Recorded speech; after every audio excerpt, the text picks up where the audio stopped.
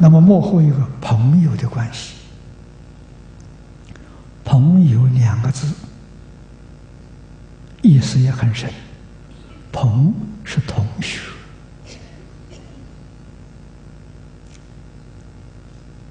友是同志，啊，友比朋更亲切，啊，所以志同道合，那叫同志。人类不出这五大类的关系，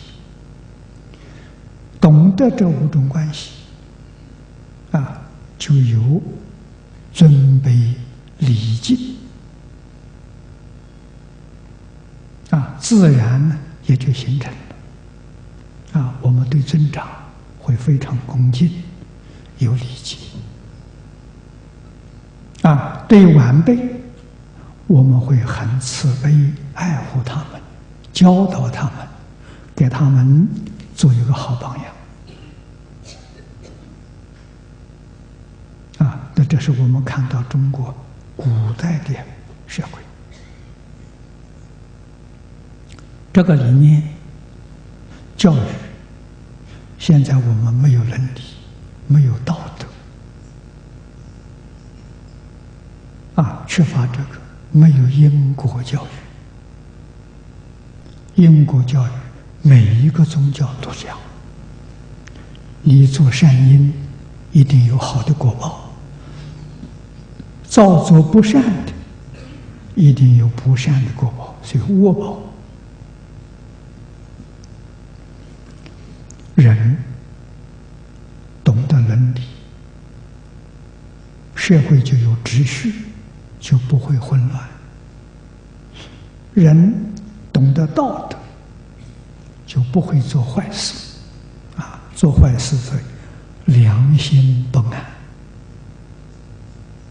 那懂得因果呢，不敢做坏事，做坏事有不好的果报，啊，有灾难，啊，所以这个教育比什么都重要啊。今天。整个世界社会动乱，原因是什么呢？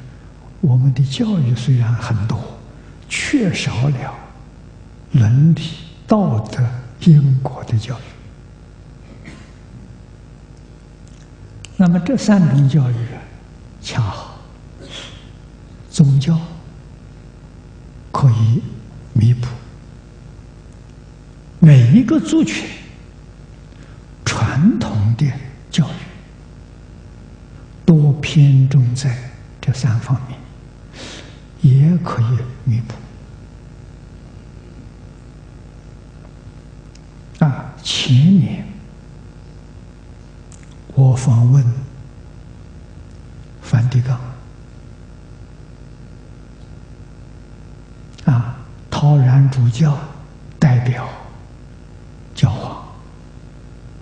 我们交流聊六个小时啊两天每一天三小时啊讨论到这些问题